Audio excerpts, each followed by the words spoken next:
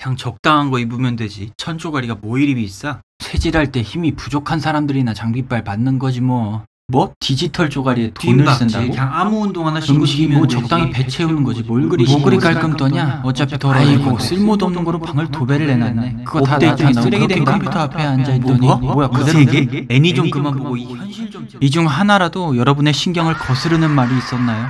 그렇다면 여러분은 그 분야에 대해 열정을 쏟고 있다는 소리입니다. 이렇게 잘 알지도 못하는 분야를 무시하며 싸잡아 부르는 사람들은 정작 자신이 열정을 쏟고 있는 분야에 대해 이런 식으로 말하면 하나하나 따져가며 설명하는 경우를 저는 본 적이 있습니다. 패션을 좋아하시는 패션을 좋아하실 여러분 반갑습니다. 모든 분야에는 일반인들이 알지 못하는 세세한 디테일들이 존재합니다. 그리고 그 디테일들이 모여 엄청난 차이를 만들죠. 러닝화 추천 때 이러한 세세한 디테일 바탕으로 추천한 걸 좋게 봐주신 분들이 계셔서 준비했습니다.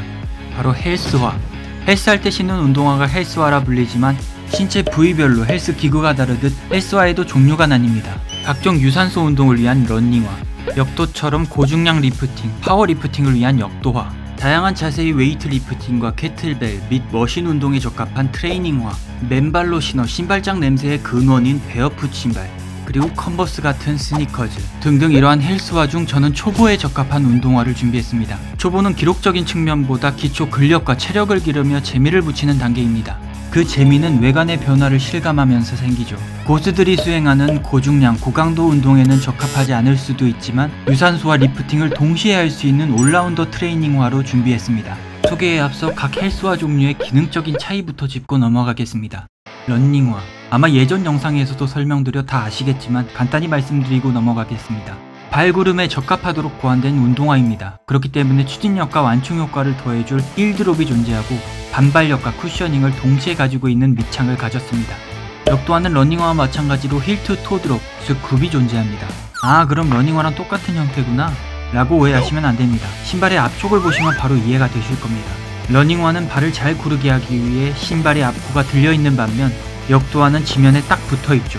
지면에 발이 고정되어 있을 때 안정감을 주는 형태입니다. 또한 cushioning이 중요한 러닝화와는 다르게 지면을 밀어내는 발의 힘이 그대로 전달되도록 밑창이 딱딱합니다. 그럼 역도화에서 이 굽은 왜 존재하나요?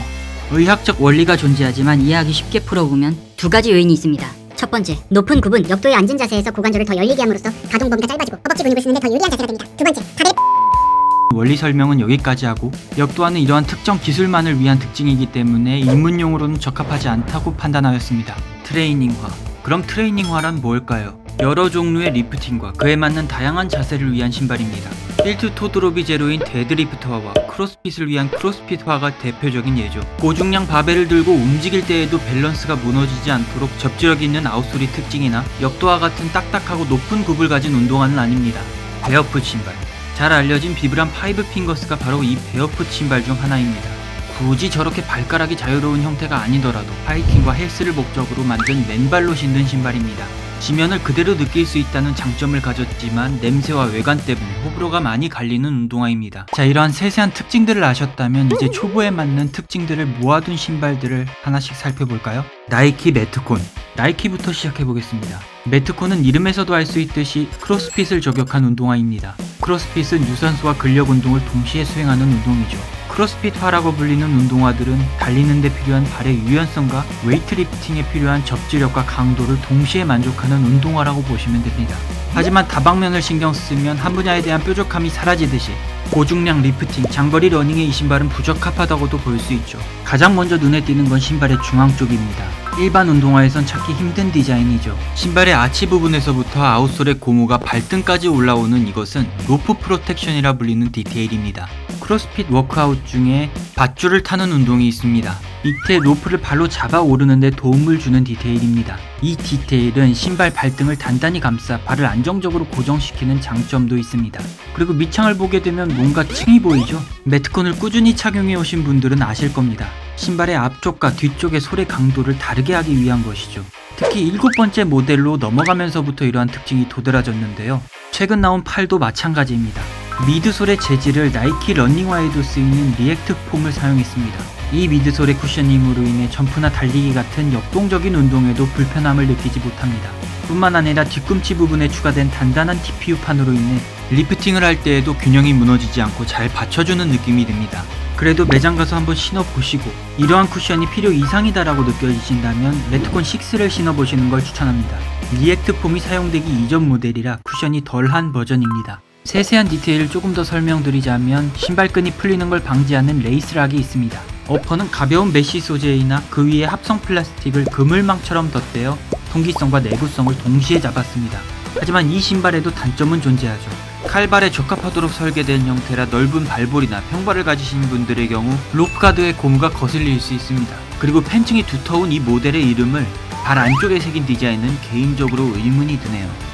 heel-to-toe drop은 5mm이고 270mm 기준 325g입니다. 가격은 나이키 공홈 기준 15만 9천원이지만 네이버 쇼핑에서 할인된 판매처를 찾아보실 수 있습니다. 반스. 역시 컨버스나 반스 추천할 줄 알았다. 라며 넘기시지 못하도록 남들 다 추천하는 Authentic Old Skool slip-on과는 다른 모델을 가져왔습니다. 먼저 이 모델을 소개하기 전에 왜 프로든 초보든 수준에 상관없이 헬스를 할 때 반스를 찾는 이유에 대해 말씀드리고 싶습니다. 반스는 skateboarder들을 위한 신발이죠. boarder용 신발은 헬스용 신발이 추구하는 기능과 거의 일맥상통합니다. 바로 접지력 때문인데요 보드화는 보드와의 접지력이 가장 중요합니다. 보드를 그냥 탈 때, 기술을 시전할 때, 보드판과 outsole의 접지력이 정확한 기술과 자세를 가지는데 매우 중요한 요소이기 때문이죠. 그러니 밑창의 형태 또한 판판하고 보드에서 느껴지는 감각을 예민하게 전달합니다. 지면을 밀어내며 발이 미끄러지지 않고 무게중심을 잡아야 하는 헬스에서의 접지력과 같은 맥락이죠. 이런 공통점으로 나이키의 블레이저, SB 덩크, 아디다스의 부세니츠 등도 헬스화로 종종 쓰입니다.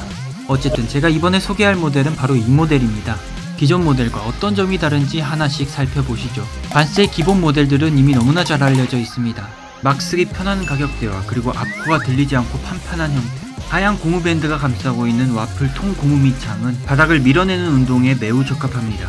하지만 달리기 같은 발을 움직이는 운동을 하다 보면 옆에가 벌어지는 현상이 생깁니다. 게다가 스케이터들이 기술을 시연하는데 많이 쓸리는 앞코 부분에 한 겹씩 덧대서 살짝 둔탁한 느낌이 들죠. 하지만 이 모델은 밑창이 보시는 것과 같이 다릅니다. outsole의 고무가 midsole과 insole을 컵처럼 담고 있는 형상을 띄어 cup sole이라고 부릅니다. 그리고 일반적인 황갈색 고무가 아닌 반투명한 고무를 사용했습니다. 이 고무는 clear sole이라고 불리며 방향 전환이 빠르게 이루어지는 농구화에 많이 쓰이는 고무입니다. 일반 고무보다 더 쫀득하고 유연한 고무라고 보시면 됩니다. 그리고 outsole에 찍어낸 와플의 형태도 다르죠. 기존 형태보다 더 입체적이어서 접지력을 높였습니다. 힐드롭은 거의 없으며 무게는 270mm 기준 350g입니다. 이것도 단점은 존재하죠. 첫 번째 어퍼의 재질. 보드와이다 보니 알리존이라 불리는 보드에 쓸리는 부분을 내구성 좋은 스웨이드와 내피를 덧대어 통기성이 없습니다. 두 번째는 황변 현상. 클리어솔의 특징이 바로 먼지가 잘 붙고 빨리 누래지는 단점이 있습니다. 마지막은 가격인데요. 반스 공홈에서 AVE나 EVDNT로 검색하시면 가격을 확인하실 수 있습니다. 기존 모델보다 훨씬 비싸죠. 하지만 JD 스포츠와 풋락커에서 할인하고 있으니 한번 확인해 보시기 바랍니다. 아디다스 트레이너 The Total The Total shoes라고 불리는 이 신발은 미국 공홈에서 deadlift를 위한 신발이라고 설명된 만큼 weightlifting에 적합하도록 설계된 신발입니다. 지면이 잘 느껴지며 통기성이 좋은 베어풋 신발을 시도해보고 싶으신 분들에게 먼저 이 신발을 경험해보시는 걸 추천합니다. 베어풋 신발의 장점을 가진 zero heel drop deadlift화이기 때문이죠. 그렇다고 뛰기 불편하냐? 그것도 아닙니다. heel counter가 단단하고 패드가 있어 뛸 때 뒤꿈치가 미끄러지는 heel slip을 잡아줍니다. 그리고 베어풋 신발보다 쿠션이 있죠. 무엇보다 이 신발을 선택하게 된 계기는 바로 넓은 발볼에 적합한 형태 때문입니다. 또한 발등을 한층 더 단단하게 조일 수 있는 strap이 있어 안정감을 더해줍니다. 합성 고무가 밑창에 사용된 것으로 보여집니다. 다양한 재질의 바닥에서 좋은 접지력을 보이죠. 재활용 재질로 upper가 만들어졌는데 내구성은 좋습니다.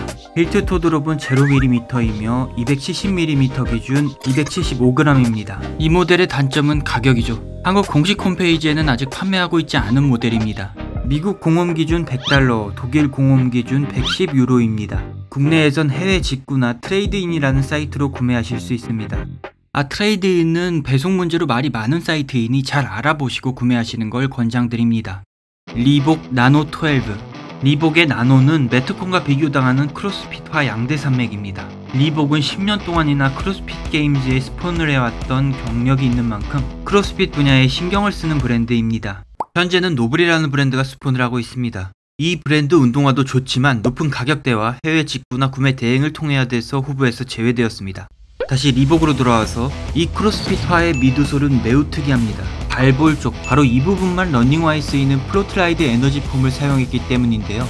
러닝을 할 때 쿠션을 느낄 수 있는 디테일이죠. midsole의 나머지 부분은 더 딱딱한 재질을 사용해 lifting에 적합하도록 보완되었습니다. outsole의 carbon rubber는 러닝화의 outsole과 같지만 힐프 쪽에 특이한 구조물이 보이죠. 이것은 heel clip과 rope protection 역할을 동시에 하는 디테일입니다. heel clip은 heel 부분을 단단하게 지지하는 역할을 합니다. 나노 11부터 기존 모델의 형태에서 이 형태로 바뀌었는데 선호도는 개인차가 조금 있는 것 같습니다. 발의 아치 부분에 지지대의 역할을 보다 더 단단하게 한다고 생각하시면 될 것 같습니다. upper는 Flexweave라고 불리는 입체적인 편직 기법이 사용된 직물인데 뛰어난 내구성과 통기성이 장점입니다. 끈을 조이는 발등 쪽은 TPU 소재를 써서 조였을 때 더 단단하게 고정하는 역할을 합니다. 런닝화처럼 앞코가 살짝 들려있으나 lifting에 방해가 될 정도는 아니라고 봅니다.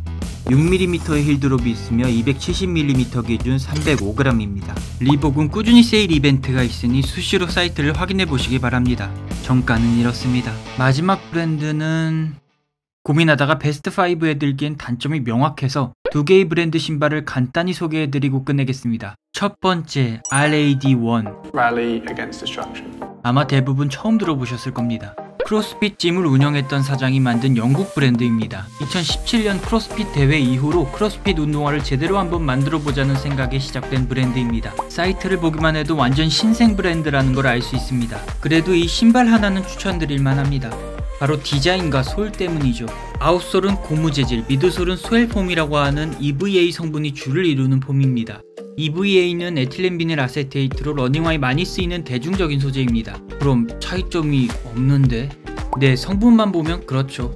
하지만 midsole을 감싸고 있는 골격 디자인이 이 신발의 핵심입니다. 딱딱한 TPU 골격이 EVA midsole을 감싸 고립시킵니다. 이것은 midsole이 무게를 받아 압축되는 현상을 줄이므로 리프팅을 할 때 힘이 분산되지 않도록 설계된 신발입니다. 또한 이것으로 인해 달릴 때도 반발력이 있죠. 디자인은 다양한 컬러가 출시되고 있습니다.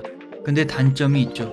바로 물량과 배송 방법입니다. 직접 본사와 대화를 해본 결과 한국은 내년까지 배송 계획이 없다고 하네요. 아직 완전 소규모 브랜드라서 물량도 많이 안 찍어냅니다. 하지만 외국에서 반응이 꽤 좋은 편이라고 하니 현지에 계신 분들에게 추천드립니다.